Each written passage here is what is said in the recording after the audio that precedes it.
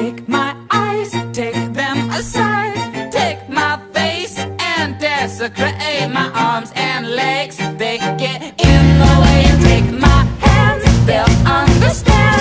Take my heart, pull it apart. And take my brain, or what remains.